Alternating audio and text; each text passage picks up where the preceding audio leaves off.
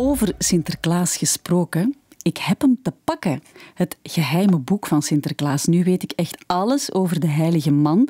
Het is een boek geschreven door Floortje Zwichtman. En de tekeningen, de geweldige tekeningen in het boek, die zijn van Sassafras de Bruin. Goedemorgen, Sassafras. Goedemorgen. Ja, we kennen jou natuurlijk allemaal van uh, de rubriek De mooiste herinnering uit Iedereen Beroemd. Hè. mensen vertelden jou een persoonlijk verhaal. Jij maakte ondertussen een tekening daarvan. Het was heel ontroerende televisie. Heb jij dat ook zo ervaren? Enorm. Ik heb nog nooit zo'n intens contact gehad met het publiek waarvoor ik teken. Mhm. Dat is iets wat ik op vooraf eigenlijk niet helemaal had zo ingeschat. Toen, toen, toen men dat vroeg van, uh, zie je zo'n concept zitten, dan dacht ik, oei, wie ben ik nu in godsnaam om iemand anders mooiste herinnering in een beeld te gieten? Ik mhm. dacht, dat gaat nooit lukken. Hè. Ik kan nooit in iemand anders hoofd kijken. En toch ja, ik heb dan geprobeerd met veel symboliek en dat op een poëtische manier, zonder mensen die er te veel op lijken of te concreet te gaan naar het verhaal toe, uh, dat, dat in beeld te giezen. En ik was enorm geschrokken toch wel van de emotionele ontlading elke keer. Ja. Niet alleen bij het vertellen van het verhaal, maar dan vooral bij het zien van dat beeld. Ja, wat dus is mij wel gepakt. Ja, de mooiste herinnering voor jou? Of de mooiste reactie?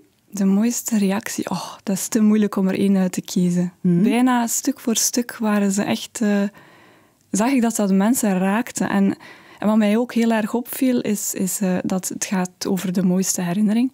Maar dat het hoogste geluk bij bijna iedereen altijd samenhangt met een diep verdriet. Hmm. Dus uh, de dieptepunten en de hoogtepunten komen samen en er is soms een breuk of een kentering nodig om de waarde van dingen te beseffen.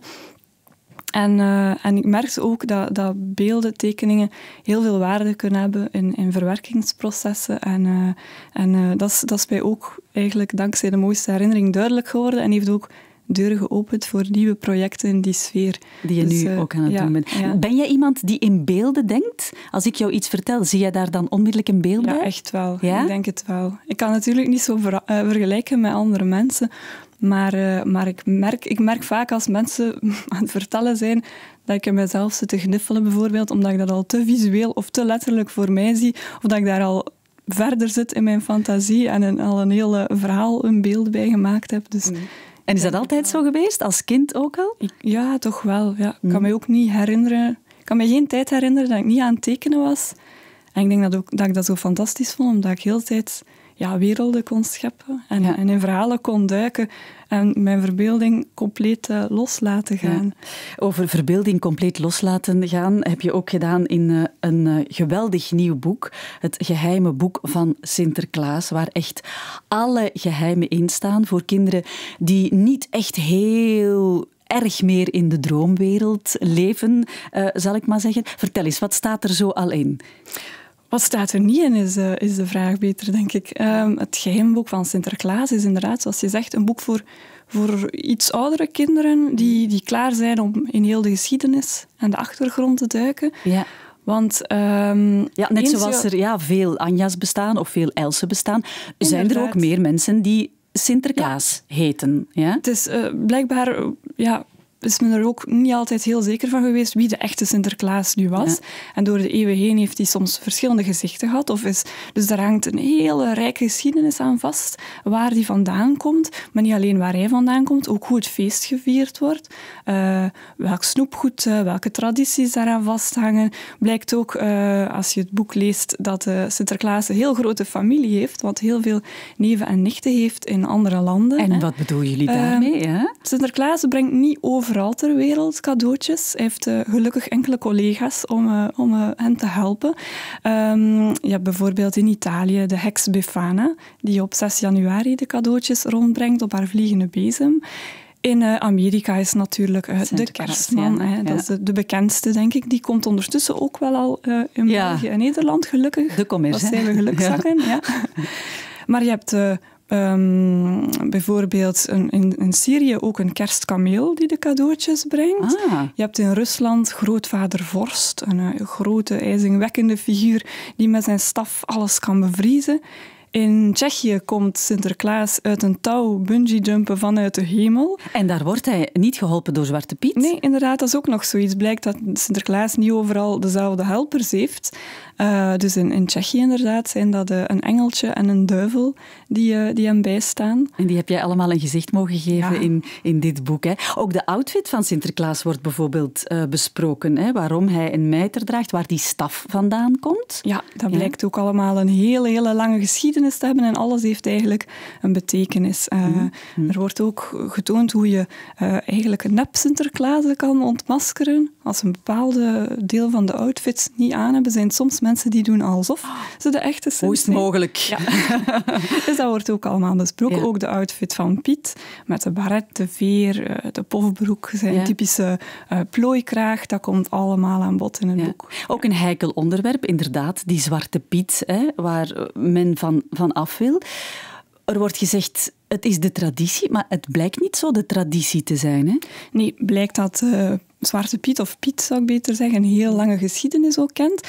En dat hij ook niet altijd hetzelfde gezicht heeft gehad als nu. En nu begint dat gezicht eigenlijk ook weer te veranderen. Hè. Mhm. Sinds een aantal jaar is er discussie over uh, dat het een, een, zwarte man is. Heel, heel lang geleden was het zelfs uh, een duivel of een stoet van duivels die Sinterklaas hielp. Op een bepaald moment uh, werd het Sinterklaasfeest verboden en verdwenen um, Piet en Klaas helemaal. En het is pas in de 19e eeuw dat Zwarte Piet plots eigenlijk een, een zwarte man is. Ja. Uh, dat is ook ja, vanuit de tijd moet je dat een beetje de bekijken, ja, de tijdsgeest.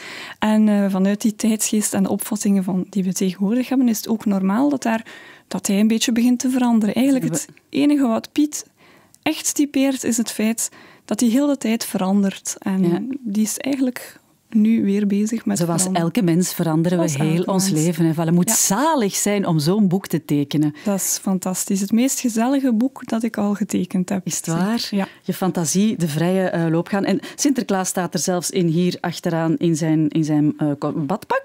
Ja, Terug naar Spanje, naar de Spaanse stranden.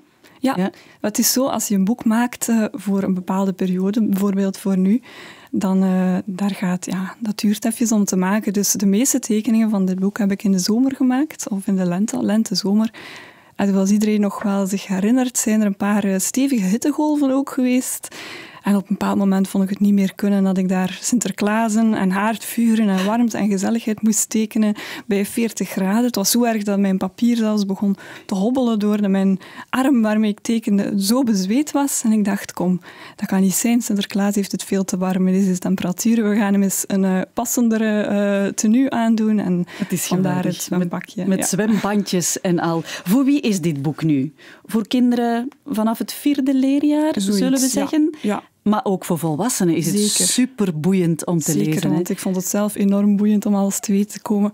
En uh, met heel veel dank natuurlijk aan Floortje Zwichtman, die alle research op zich heeft genomen. Ja. Dus ik had een super dankbare taak om gewoon haar uh, humoristische, sappige, gevatte teksten voorgeschoten te krijgen. Maar het is inderdaad een boek, zeker ook voor volwassenen, voor iets oudere kinderen denk ik vooral, om samen met hun ouders, grootouders in te bladeren en te zien hoe groot en hoe rijk het verhaal van Sinterklaas nu eigenlijk is. Want dat is veel groter dan je soms uh, zou denken. Ja, het is veel groter dan uh, 6 december. Het geheime boek van Sinterklaas werd uitgegeven door Van Halenwijk. Sasa Fras, bedankt om naar hier te komen. En uh, fijn feest hè, daar vrijdag. Ja, dank je.